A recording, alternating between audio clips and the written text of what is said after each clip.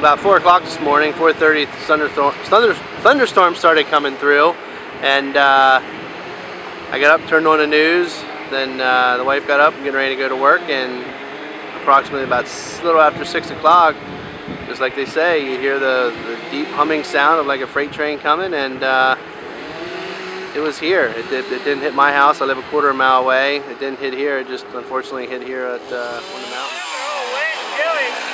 I don't use gloves.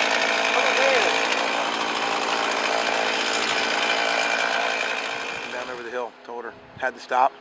Rain got so heavy, couldn't see. Couldn't see the lane, nothing. But I knew I knew where I was, you know, the area. I knew I was by the big trees. Which you knew that wasn't a good spot to be. And I told her I could hear them start snapping and I could see them in the sky. It was light enough. I could see the ones on my left side flying across over. Landed. Just like tops of shrubs when you cut them off. They just went sailing across there. Then in the car, car started gyrating and lifting a little bit, and then the driver decided to come off the ground about a foot or two. I thought it was, thought it was going.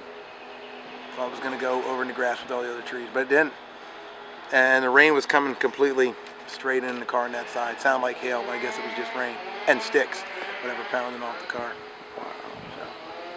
And that was over about 45 seconds. I told him, done deal. Transformer was down there beside the car. I seen the flash of that. I seen the transformer go down. I thought it was just the wire come off. Then when I pulled my car forward, I realized, looking at the transformer, that's what the big flash of white light was. So, wasn't the best spot to be. That was it. Nobody else was in yet. I think it was one of our guys pulled up to the fallen tree there and backed up. At, and it could have been a neighbor, but I thought it might have been him. I called him. He's my next in line, you know, partner worker, and he, he was down at the store. He just missed it. He's usually here at 6 o'clock. I'm not. He's early bird. But I was telling her I left the house because I thought it was 5 or 7. It was 5 or 6. All my power was out up there. So, how about that? An hour early.